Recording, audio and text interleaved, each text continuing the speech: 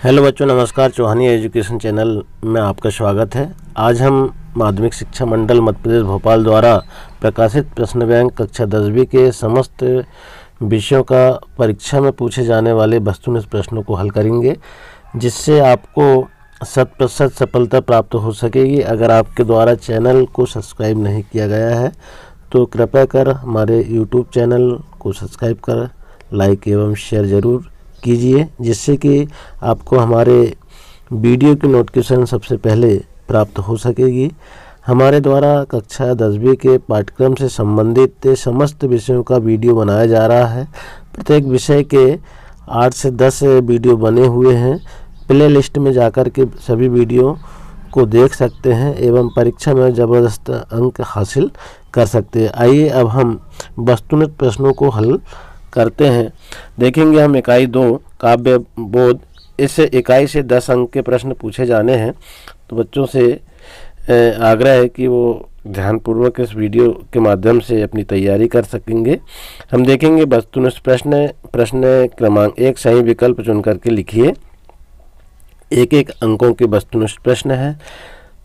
रसात्मक वाक्य काव्यम परिभाषा किस आचार्य की है तो इसके हम चार ऑप्शन दिए हुए हैं तो हम ज़्यादा बड़ा वीडियो न करते हुए हम उत्तर उत्तर को इसमें आपको बताते जाते हैं। आप ध्यान से समझ लीजिए।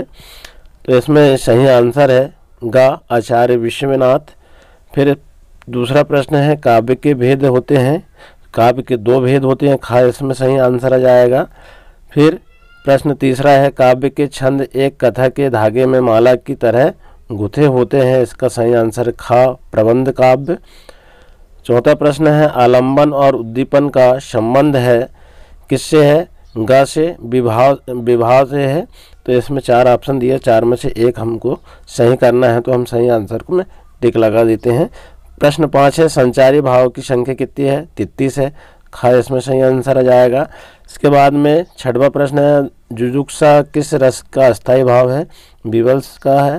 तो यहाँ खा में हम सही टिक लगा देंगे। इसके बाद में प्रश्न सात है लय तु की अति गति, मात्रा एवं चरण से युक्त रचनाओं को कहते हैं, क्या कहते हैं? छंद कहते हैं। तो खा इसमें सही आंसर हो जाएगा। इसके बाद में अगला प्रश्न है, किस वर्णिक छंद के प्रत्येक चरण में इकतीस वर्ण होते हैं? तो किसमें होते हैं? कवित्व में होते हैं। तो गाय इसमें सही आंसर में टिक लगा देंगे। इसके बाद प्रश्न नौ है, काव्य की शोभा बढ़ाने वाले कारक को क्या कहते हैं?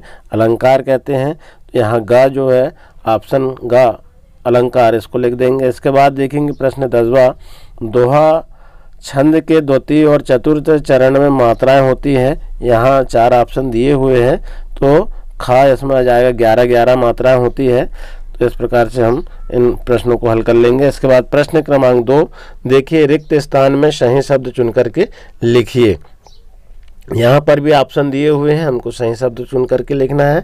प्रश्न एक है, नायक के जीवन की किसी एक घटना अथवा हृदय स्पर्ति अंश का पूर्णता के अंकन क्या कहलाता है? खंड काव्य में किया जाता है। तो यहाँ खंड काव्य लिख देंगे। इसके बाद प्रश्न दूसरा है, अभिनव तत्व की प्रधानता किसमें होती है? दृश्य, काव्य में होती है तो यहाँ दृश्य, काव्य यहाँ पर लिख देंगे। इसके बाद प्रश्न तीसरा है इसमें, काव्य में रस का अर्थ है खालिस्तान स्वीकार किया जाता है तो आनंद स्वीकार किया जाता है।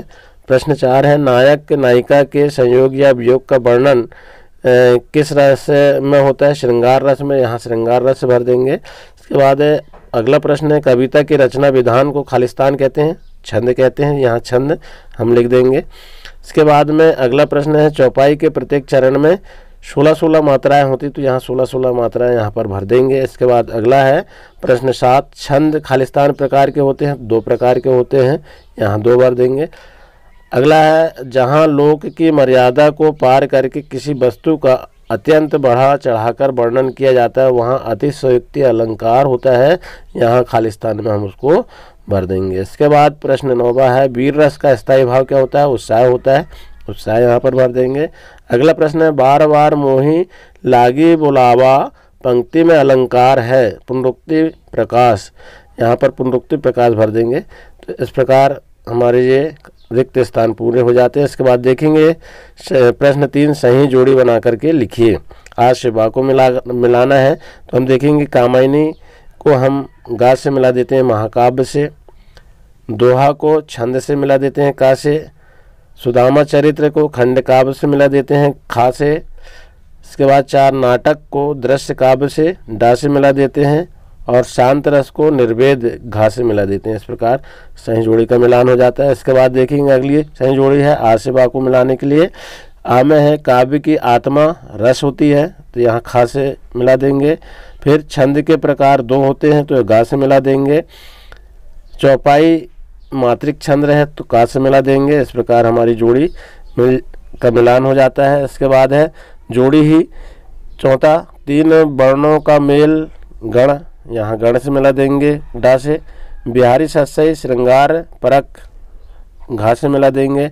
अगली जोड़ी है आ से बा अलंकार को गा गा से मिला देंगे, आभूषण। फिर, जहाँ अप्रस्तुत कथन से प्रस्तुत कथन का बोध हो, वहाँ अन्योक्ति होती है तो का से मिला देंगे। फिर तीसरा है, प्रकृति में मानवीय क्रियाओं का आरोपण। ये जो है मानवीयकरण होता है तो खा से मिला देंगे। इसके बाद लोक मर्यादा की सीमा, लांघकर वर्णन, अतिशयोक्ति अलंकार डर से मिला देंगे, जहाँ एक ही शब्द दो बार आए और उसका अर्थ भी न बदले। तो उसको पुनरुक्ति प्रकाश कहते हैं तो गा से, घा से मिला देंगे इसको। इस प्रकार ये हमारी जो है सही जोड़ी का मिलान हो जाता है। इसके बाद देखेंगे हम एक वाक्य में उत्तर लिखिए।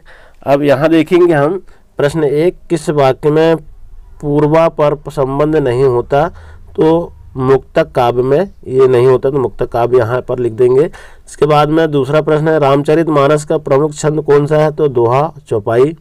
ये दोहा चौपाई है तो यहाँ पर हम लिख देंगे। प्रश्न तीसरा है, मुख्य रूप से स्थायी भाव की संख्या कितनी है? नौ है। स्थायी भाव की संख्या कितनी है? मुख्य रूप से नौ है। इसके बाद प्रश्न चार है बतरस लालच लाल की पंक्ति में कौन सा अलंकार है? तो अनुप्रास है। अनुप्रास यहाँ पर लिख देंगे। अगला है, पांचवा अर्ध सम मात्रिक छंद क्या है? दोहा है। यहाँ दोहा लिख देंगे। प्रश्न छठवा है, पड़ी अचानक नदी अपार घोड़ा कैसे उतारे? पार। अतिशयोक्ति अलंकार यहाँ पर है। राणा ने सोचा, इस पार कब तक चेतक था? उस पार इन पंक्तियों में कौन सा अलंकार है? तो यहाँ पर जो है अतिशयोक्ति लिख दिए।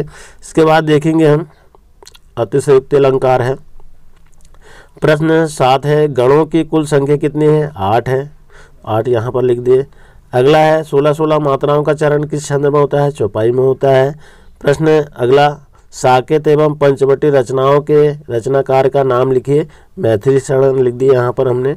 इसके बाद देखिए आप, प्रश्न दसवा है, मात्राओं की संख्या पर आधारित छंद क्या कहलाते हैं? मात्रिक छंद कहलाते हैं।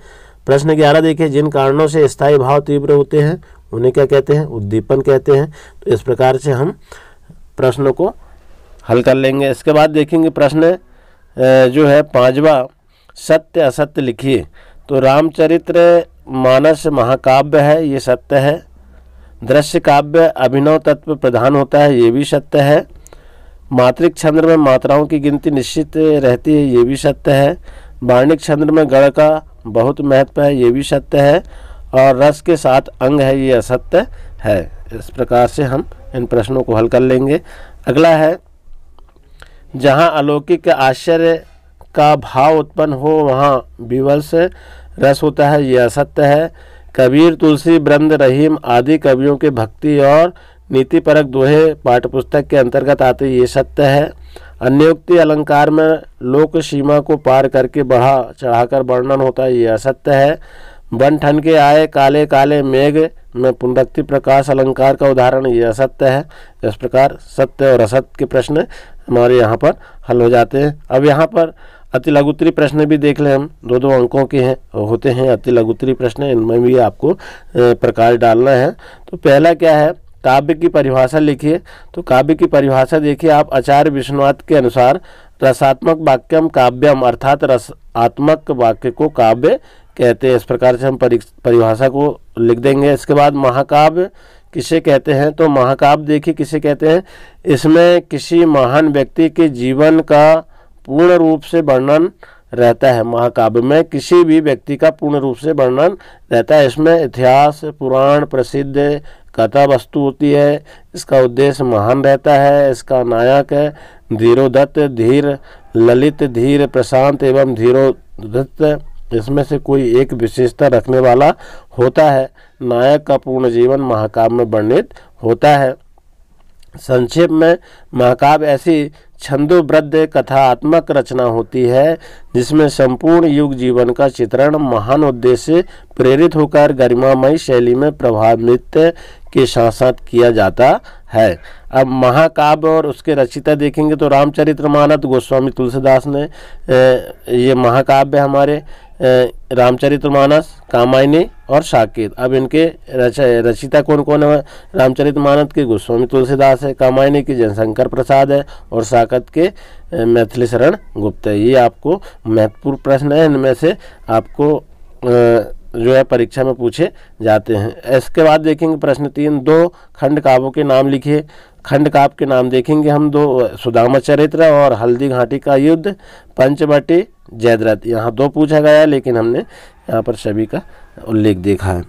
अब इसके सुदामा सुदामा चरित्र की रचिता कौन है? नरोत्तम दास है। हल्दी घाटी का युद्ध, श्याम नारायण पांडे है।